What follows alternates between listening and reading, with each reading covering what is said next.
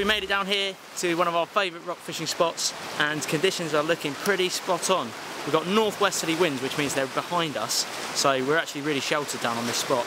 Uh, we're, it's high tide now, we're going to fish a couple of hours of the ebb tide and we've got ragworm for bait, I'll probably use some lures as well. The clarity of the water is excellent. There's no swell coming in as well, very little swell, which again is really good. Um, so hopefully, you know, we'll get a bite. We're going to use light tackle and um, I'll just go run you quickly through the rig and the tackle that I'm using. Okay, so setup I'm using is a Nomura Isei 3,500 size reel loaded with, it's about 16 pound braid, quite strong braid because I'm rock fishing. Um, braid's obviously not got the best abrasion resistant properties, that's why I've gone for fluorocarbon leader.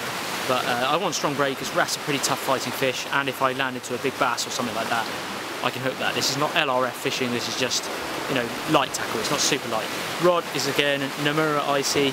I really like these rods. Um, it's 2.1 meters and casting weight 10 to 35 grams, which again means I can get real good action and sport off smaller fish and the bigger fish as well. So time to hook on the ragworm and then get this bait out there. Okay, so just going to talk about my rig quickly here. Here's the mainline braid. This is coming straight from my fishing rod. That's going down to, all I've done is just an overhand loop and loop that through the swivel. And that's, I don't can't remember what size swivel that is, about 8 or 10, just a small swivel there. Um, and then I've got 10 pound fluorocarbon, uh, which I've tied with a just a simple touch blood knot there. And I've got about three, four feet of this fluorocarbon. That goes down I've gone for the drop shot rig today to a small worm hook. Again, I can't remember the size, one or two, just real small one.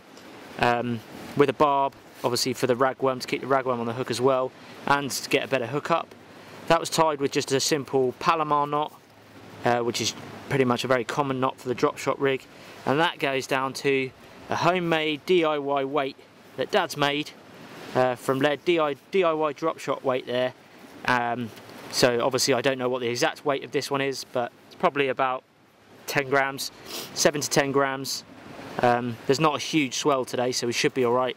I'll just cast that out, let it sit there, and hopefully get a bite. What's Beth catching today? Wrasse. Wrasse. Em's got the crisps sorted. Yep. And the ragworm. food as always. You're catching ragworm? What are you catching those on? My rods.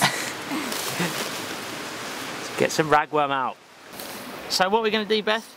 Uh, we're going to weigh some fish today. Are we going to weigh them or do something else? Uh, measure them. Show us what we got. How are we going to measure them? Uh, we got this, um...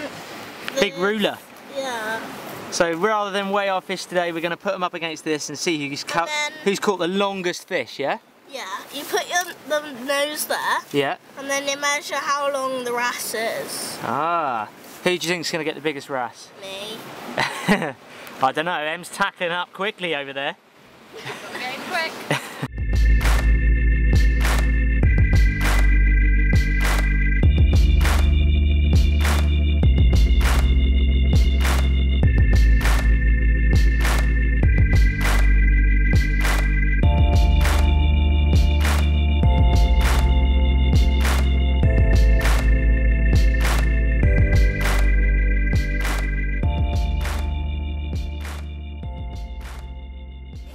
Wrasse of the day for Beth. Show us, Beth.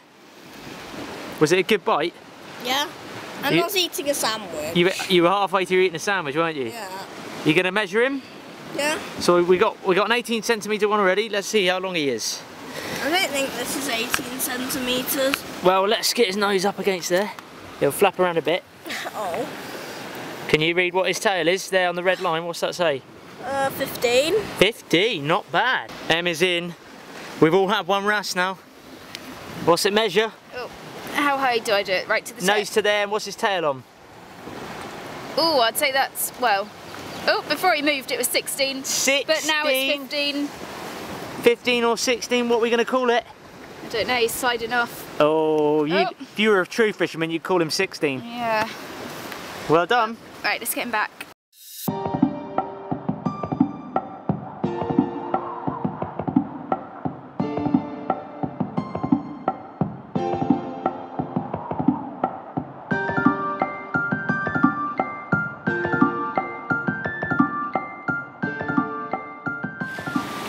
Go. 26 centimetres. Best wrasse so far. Nicely hooked. And a real orange looking fish, this one. Really orange. Nice colours in it. We'll get him back and then hopefully get straight back out there. Fish are starting to bite now. And we're about an hour before high tide.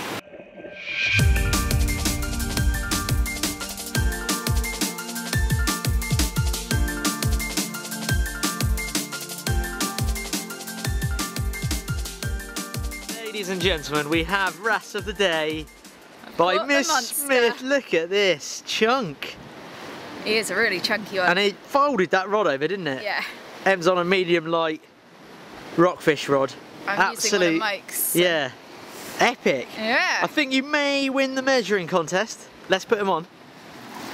Okay. Head first. First. Oh, Sliding round. if I grab his tail, will yeah, it break he'll be it? fine. No. What are we saying?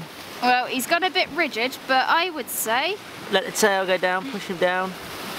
that he's What's he on? 31 or 32? 32. 32. Ree! 32 smashed it. Nice one, Em. Decent wrasse. How big is it? Right. Beth's got a beast. Beth has a beast. Right, ready?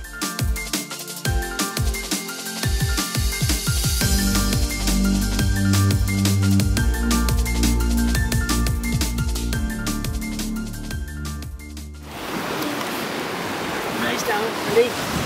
What's it saying, Beth? It's over um, Em's. 32. 32? Yeah, 32. Oh. Oh, 32.5 Em, I'm Oh, ah, afraid. 0.5 over. Beat you.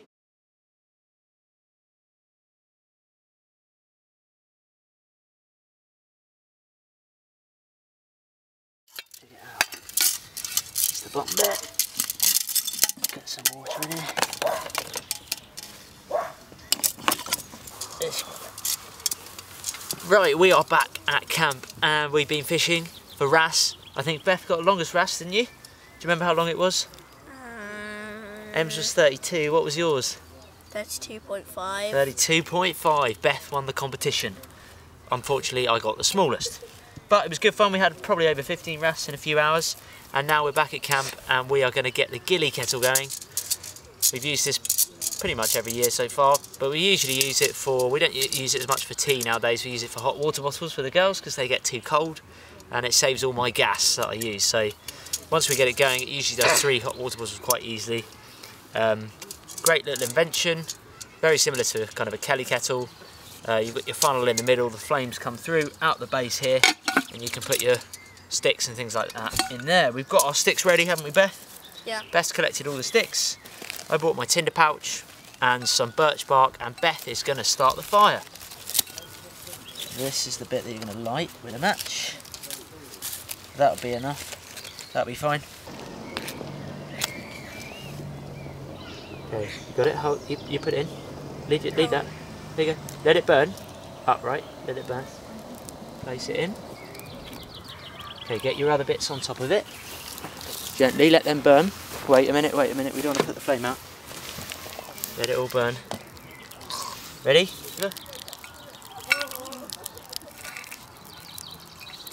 That's it. Now we'll let that burn a bit first.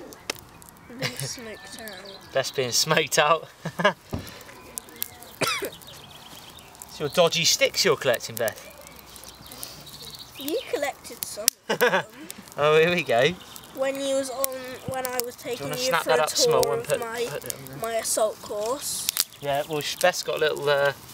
Oh, look, this one's smoke. Yeah, Beth's He's got, got a cool. to learn the way of the wild. Apparently, yeah. Beth's going to teach me some cool things out there. Yes, as you can see over here behind Beth, Beth Duck, duck down. And there we have someone doing their makeup. We are going out later. Oh dear. Makeup To a and band. camping. The band. Yeah, Camping. Camping priorities over here. Gotta get ready, gotta look good for all the wilderness folk out there. Meanwhile, Beth, don't have like electric have you done your makeup, Beth? No. Do you like makeup? No. Do you like girly stuff or do you like the outdoors? I like boyish stuff. Like making a fire? Yeah. which is And going well. Instead of makeup, I put I put mud on my face. Mud, mud mask. Be very good for you then. Like native Indians. Yeah. Are you pleased with your achievement? Yes. I am very pleased. Have you enjoyed today? Yeah. That's what it's I all always about. win in the wrasse. In the wrasse fishing competition. And I always lose for some reason. It's, la it's ladies' luck, I think.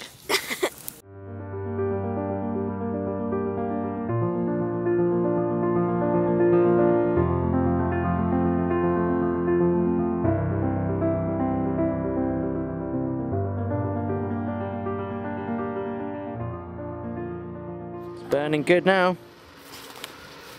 Beth arranging a bit of wood that I chopped up earlier as well. Getting it all out the Ghillie kettle bag Well, not early. earlier this week. Oh,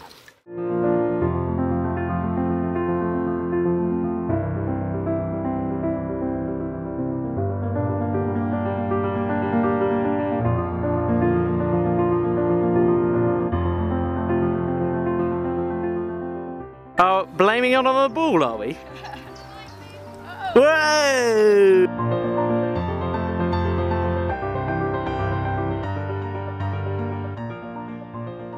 So we've got the Ghillie kettle going, filled up the kettles, girls are happy, they're playing football, and as you see it's burning pretty well.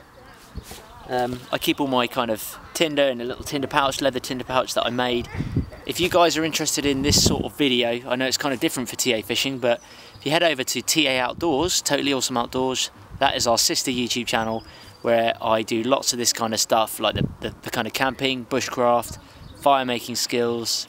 Um, we've got hunting, shooting, and obviously some of Dad's crazy DIY videos as well. If that's something you're interested in, guys, please head over to Totally Awesome Outdoors. I'll pop a link up just here. Subscribe, and I hope you enjoy the videos.